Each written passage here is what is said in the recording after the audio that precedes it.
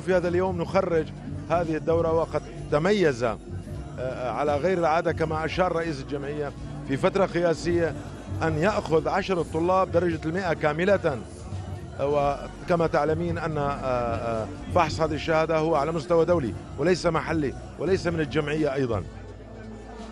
أيضا مكتب الشهداء يقوم دائما بفعاليات يعود ريعها لصالح صندوق شهداء جامعة دمشق.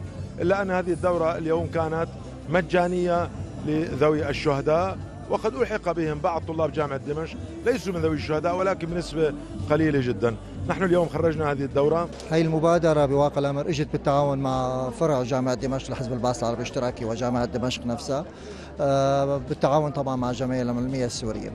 طبعا هي الهدف من المستهدفين من هالمبادرة هن أبناء الشهداء والرفاق البعثيين تم اختيار الرفاق وتم التحضير للكورسات نحن كجمعية قدمنا عملية التدريب والمدربين بالمستوى المطلوب والجامعة دمشق قدمت المكان وحاولنا من خلال علاقاتنا مع مراكز الاختبارات إنه نحصل على حسم للطلاب آه، حتى يجتازوا الامتحانات بأقل تكاليف ممكن. طبعا عدد المتقدمين بحدود ال 100 105 طلاب 75% منهم أخذوا شهاداتهم مباشرة. هي الكورسات ما معقدة لكن هي بالخطوة الأولى للتعامل مع الحاسوب.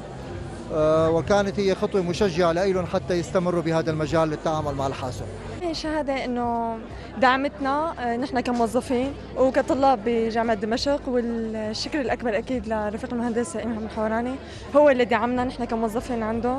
وكطلاب نحن بجامعة دمشق إنه ندعم حالنا بخبرة إنه أساسية. بالنسبة لدورة ال ICDL هي دورة كثير مميزة. مثل ما بنعرف نحن الإصدار السادس لها معلومات كانت أكثر من رائعة. يعني إذا فيني أقول إنه أنا في عندي خبرة بقيادة الحاسوب بس كانت يعني عادية. أما هلأ فيني أقول تفوقت على حالي إنه تعلمت بكل أنواع ال Microsoft Office Word Excel Access كله تفوقت فيه. وكانت من الأروع الأيام بالنسبة للأعطاء بالنسبة لأسلوب التنظيم. هاي الدورة كثير فادتنا. فادت كثير عالم. ليش؟ لأنه أول شيء لبرامج تدريبية.